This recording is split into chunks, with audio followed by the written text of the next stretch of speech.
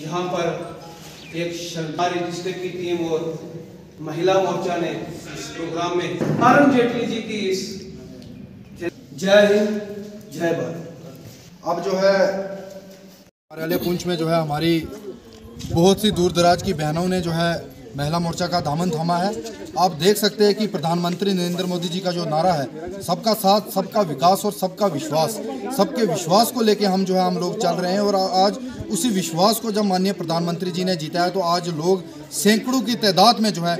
Bharatiya Janata party में आ रहे हैं। आपने देखा होगा कि पिछले दो दिन पहले हमारे दो डीडीसी मेंबर हमारे डिस्ट्रिक्ट पुंछ के जो हैं वो भारतीय जनता पार्टी में आए हैं। ये माननीय प्रधानमंत्री नरेंद्र मोदी जी की देन है कि उनका जो विकास का नारा जो है, विकास मॉडल जो उनका है, वो पूरे भारतवर्ष में चल रहा है। जिसको लेकर, जिसको देख के आज बुज़ुर्ग, महिला, नौजवान, जितने भी लोग हैं, सारे लोग भारतीय जनता पार्टी ज्वाइन कर रहे हैं। जिन लोगों ने आज भारतीय जनता पार्टी ज्वाइन की, मैं दिल की गहराइयों से उनका जो है भारतीय जनता पार्टी में वेलकम करता हूँ। धन्यवाद। उनका प्रोग्राम जो कि रूटीन में हो रहा है और हमें खुशी है कि यहाँ पर इतनी मात्रा में आज महिला मोर्चा जो और स्ट्रांग हुई है।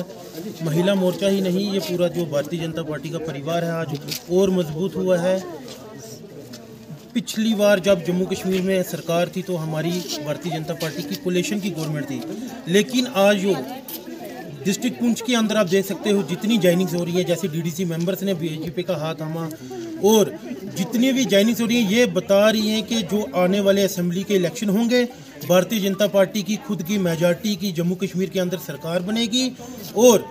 बाकी हमारे जो नए प्रधान बने हैं, जो नई बीजेपी की टीम बनी है, हम सब मिलकर यहाँ पर ग्राउंड लेवल में काम कर रहे हैं और करते रहेंगे ताकि जिसका फ़ायदा हमारी पार्टी को मिले और लोगों को मिले, क्यों? जब भारतीय जनता पार्टी की जम्मू कश्मीर में सरकार बनेगी तो जनता को और जो बेनिफिट है, मोदी सरकार की स्कीमों का डायरेक्ट मिलेगा। इसके लिए मैं धन्यवाद करता हूँ महिला मोर्चा का। हमारी जो महिला मोर्चा की अध्यक्ष ज्योति बल्ला जी हैं उनका और अपने राजेश जो हमारे यहाँ के जिला अध्यक्ष हैं इनका। नरेंद्र नरेंद्र भाई मोदी जी का जो जो स्लोगन था, हर हर मोदी, हर हर मोदी, घर घर मोदी। अब उसमें हमने ये प्रयास किया हुआ है कि लोगों लोग तो अब अपनी जितनी भी उपलब्धियाँ थी या जितनी स्कीमें थी, उनका लाभ ले रहे थे। अब हम लोगों को घर घर जाके लोगों को भी अवेयरनेस आ रही है कि ये जो मोदी जी ने जो दिया हुआ है, उन्होंने ये नहीं देखा हुआ है कि अपनी अपनी पार्टी के लिए, उन्होंने हर एक व्यक्ति के लिए अपने जो स्कीमें थी वो तक पहुँचाई है और लोगों, लोग इस चीज़ से जागृत होकर हमारा, हमारे साथ जुड़ रहे हैं और हमारी पार्टी को मज़बूत कर रहे हैं और हमारी भी यही कोशिश रहेगी कि जितना हो सके हम लोगों में ये चीज़ को क्लियर करें और लोग जो जुड़े, वो ऊपर से नहीं, वो हमारे दिल से जुड़े ग्रास रूट से जुड़े और हमारी भी यही प्रयास रहेगी और हमारी पूरी टीम की ये, यही प्रयास रहेगा